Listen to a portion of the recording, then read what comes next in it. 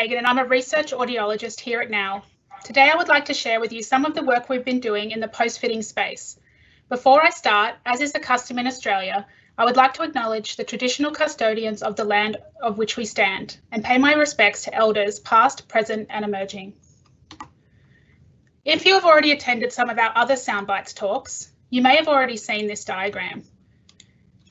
It reflects the different areas we are interested in as part of NAL's multidisciplinary Connected Health Research Program. Connected Health or telehealth focuses on using additional technology to provide healthcare to people who can't or prefer not to access services in the traditional face-to-face -face model. This can be due to distance, time or disability, but also opens up many more options to our clients so that they can have more choice about how and when they receive care. This is particularly relevant with the recent increase in access to connected health services due to the COVID-19 epidemic. My colleagues and I are currently focusing on the area of ongoing support and how the use of a new technology could help bridge the gap between client and clinician in the post-fitting period. For this project, we used a design thinking approach. This differs from traditional research methods as the researchers don't start by developing a research question or completing a literature review. In design thinking, you identify the stakeholders first. In this case, our stakeholders are people who wear hearing aids and their audiologists. You empathise with them. You talk to them, ask them questions, and find out what they think are the most important issues. You then form your research question around what the stakeholders have actually said that they want. We wanted to know what they thought the barriers and facilitators were for success with hearing aids and how they would feel about using technology to mitigate some of these challenges. To further enhance this client-centred focus, we also formed a patient and public advisory group. The concept of PPI is becoming more common in research and can take on many different forms.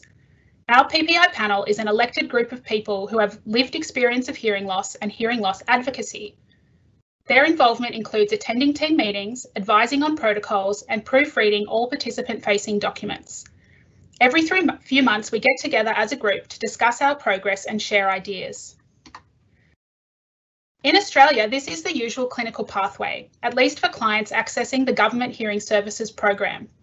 You would come in for a hearing assessment and then decide to either go onto a fitting or not. At the fitting, the clinician would set up the hearing aids for you and talk you through the management of them, then around two weeks later, you would come back for a follow-up appointment where you could make adjustments and review your COSI goals. If the client is happy with the hearing aids, they are then signed off and are not usually recalled for 12 months. As I mentioned before, we were interested in the post-fitting period of the hearing rehab journey. In particular, we are focusing on the initial period between the fitting and follow-up appointments, which is usually around two weeks. In late 2019, we talked to a number of stakeholders in either one-on-one -on -one interviews or small focus groups. We interviewed six audiologists, five were female and one was male. All were aged between 31 and 42 years old and had between 7 and 12 years experience in audiology. We also interviewed 10 people who wear hearing aids. Two came to one-on-one -on -one interviews and the rest came to one of two focus groups. We had four women and six men ranging in age from 43 to 84 years. There was quite a range of hearing loss and hearing aid experience. Through a semi-structured interview format, we asked our participants what they thought was most challenging about the post-fitting period, what they thought made it easier, and how they felt about additional technology could benefit people getting used to hearing aids for the first time.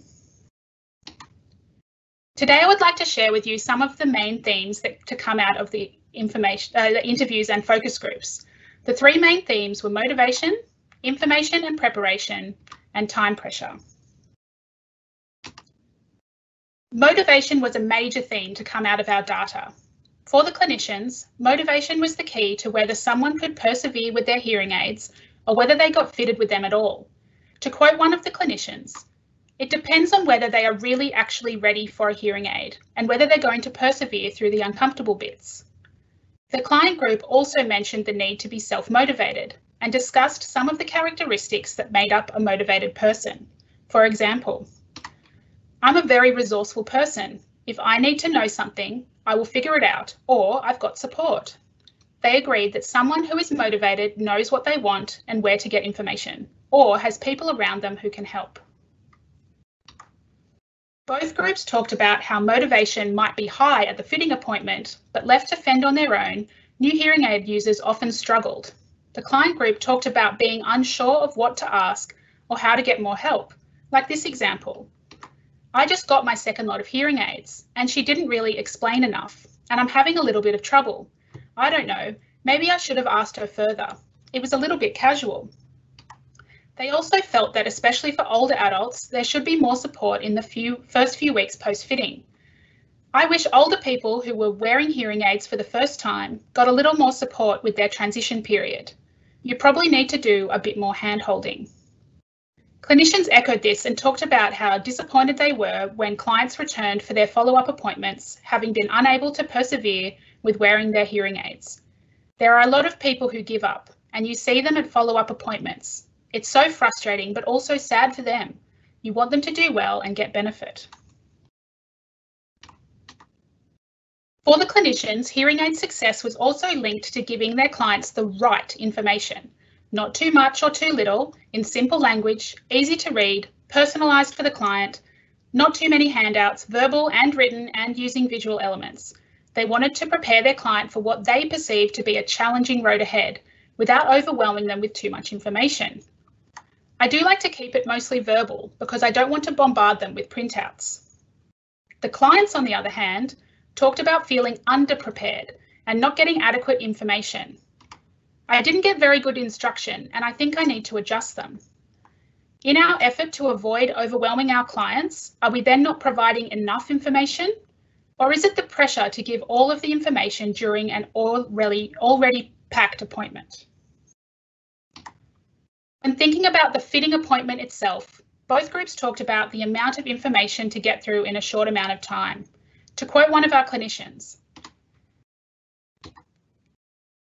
just trying to fit it all in. There's so much to get to. Sometimes it's such a rush to explain everything and set it all up. But that rushed feeling can impact our clients. I come away feeling that I'm being shoveled out the door and I don't know what questions to ask because I don't know what's wrong. Getting hearing aids can be an overwhelming experience, especially for the first time. Are we focusing more on the client's concerns or on the list of tasks that we need to get through in the hour? Are there any other options out there to help ease this time pressure? As I mentioned earlier, we also asked our participants about their feelings on technology. There is a widespread assumption that technology is not for the older generations, but this is an increasingly outdated notion. According to a US study, in the year 2000, only 14% of adults 65 and over use the internet. In 2019, it was 77%. Older adults are likely to use more than one smart device every day and are spending half of their leisure time on screens. Beyond smartphones and tablets, there are a number of other devices such as smartwatches, fitness trackers and smart security systems that are being marketed towards older adults more and more. These devices are being used for more than just entertainment and social media. For example, smart voice assistants like Google Home or Amazon Alexa are being used in health, the healthcare field for the management of chronic conditions such as diabetes and asthma. Overall uptake for these voice activated devices is increasing, with the fastest rate of adoption being in the over 55 age group. The clinicians that we interviewed talked about how heavily they rely on technology at work, how if something isn't working, they may have to cancel their appointments to fix the problem.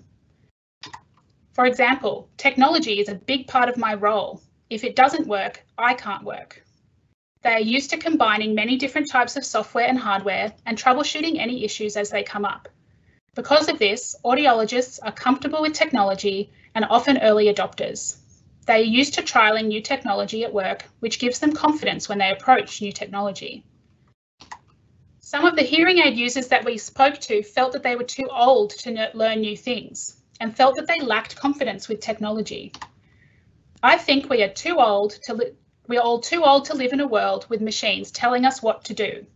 They also talked about a lack of awareness of technology, that they didn't know where to find information about new devices and that they didn't speak the language of technology. I think that sounded really great to me. Why hadn't I heard of it? Others acknowledge that older adults are a growing market for technology, saying, a lot of people in our age group are very techno savvy. They all regularly use the internet and smartphones and talked about the idea of keeping up with their grandkids. Bringing together these two very different views on technology is this quote from one of the clients. Even though I have a complete and total aversion to having to speak to a lump of metal or plastic, if it's recommended by the clinician, I would do it. Audiologists play a major role in introducing our older clients to technology, whether it's new devices, remote controls or smartphone apps. They trust our recommendations and rely on us for support.